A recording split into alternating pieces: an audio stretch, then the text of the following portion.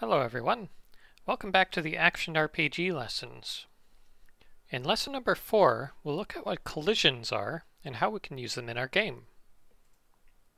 In order to explain collisions first, I'll bring you over to Sketchpad.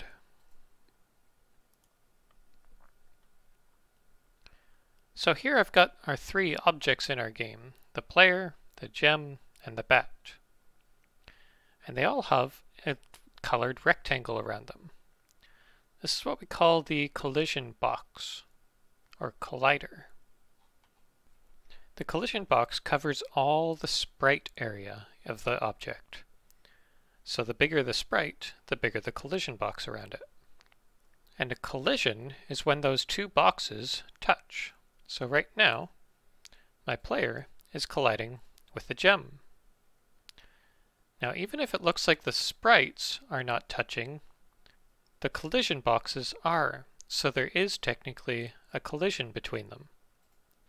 The same thing happens if the player collides with a bat. So right now in our game, it would look like they're not colliding, but they actually are.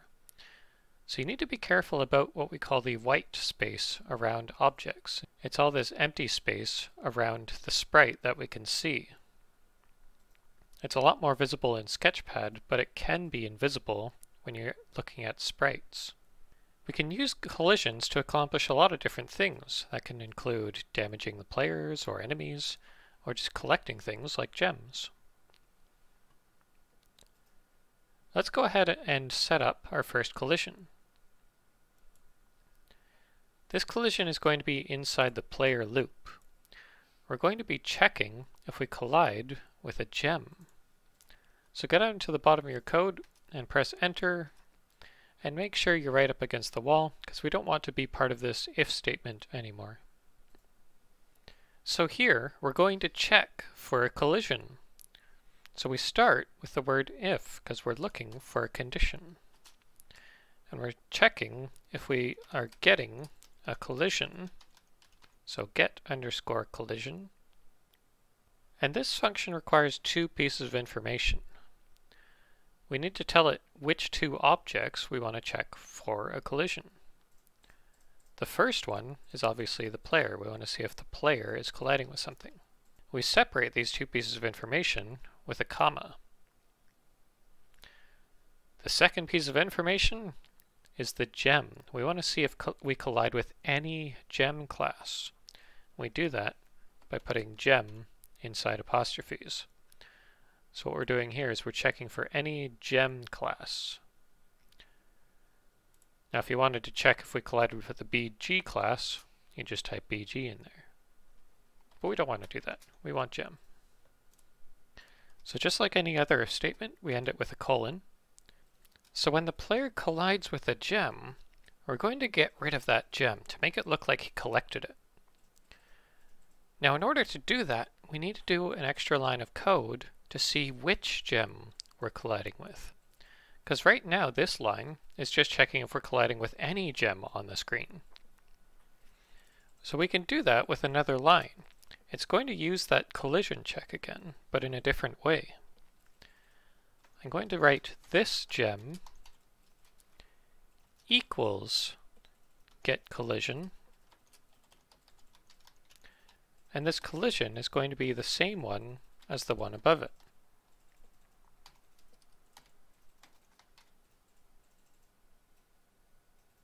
What this line is doing is it's keeping track of the information of the gem that we're colliding with. And we need that in order to get rid of it. Now in order to get rid of it, we write the word destroy. And inside these brackets, we tell it which object we want to destroy. Now that we know which object we're wanting to destroy, it's this gem, we just type that inside. And just like that, if you play a game, you can walk over to a gem and collect it. Nice. So wouldn't it be useful if we kept track of how many gems we've collected? Well, there's a way to do that, using what we call a variable head over to the player start. We're going to add one more line here. I'm going to add an empty space in between just to keep my code organized. And I'm going to add what we call an integer.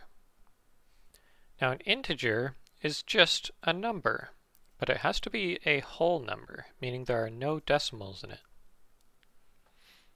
I'll show you an example. If we're keeping track of how much money we have, I'm going to say self.money equals zero, because we start the game with no money. However, if you wanted to start with money, you could change this number to be anything you want. You could say it's 100. Or you could say it's 50.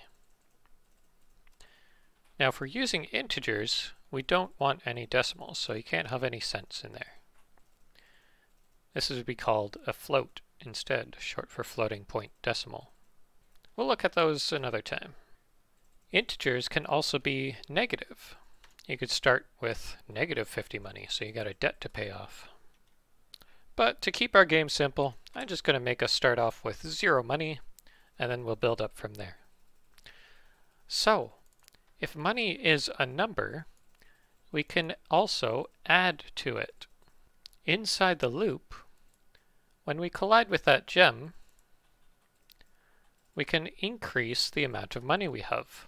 So I'm going to add another line inside this if statement, and I'm going to say self.money plus equals 1. So every time we collect a gem, we get a money. Now in order to display it to us, I'm also going to do a print message. And inside this print, I'm not going to write an apostrophe this time. What I'm going to do is I'm going to print that money variable. So every time we collect a gem, we're going to see how much money we have. If I hit play, check out the console, there we go, we've collected one gem. And if I collect this one, I got two. And that's it, we got no more gems. Next, let's look at the collision between the player and the bat.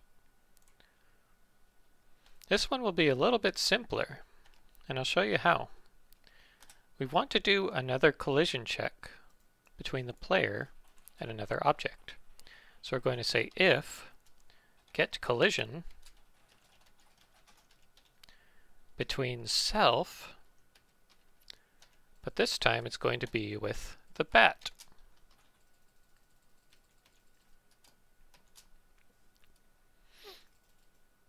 Now the difference for this collision is that it doesn't matter which bat we're colliding with. Yes, we only have one in the game, but if we had more, they're all going to cause the same effect. They're going to hurt the player. For now, we're going to say if the player collides with a bat, we're going to destroy the player. So to accomplish that, we still use the destroy function, but this time we're destroying self since we're inside the player already. And just like that, the collision check is finished. If the player touches the bat, he gets destroyed. And it'll work, just like that. Poof! Oh no! If you want, add more gems to your game so you can collect more money. In the next lesson, we're going to add another character to our game who can give us a sword. We'll also look at some different types of variables to use. I'll see you there.